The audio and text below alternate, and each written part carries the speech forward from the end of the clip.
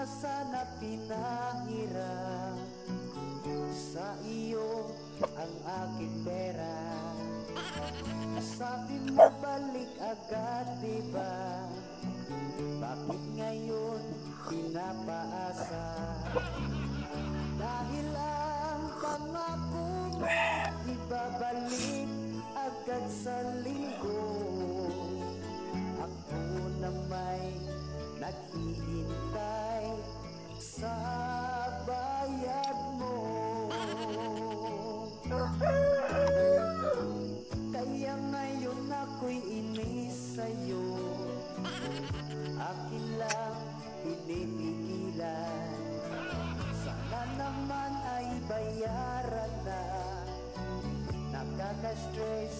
Anong pizza na? Dahil dyan sa utang mo Nagigipit tuloy ako. Hanggang kailan magtitiis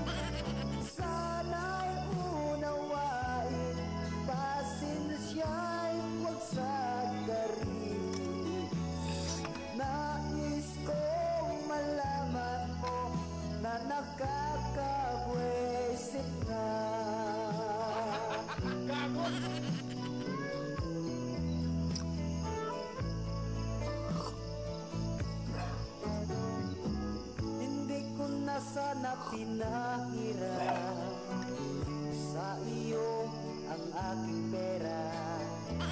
Sabi mo balik agad diba Bakit ngayon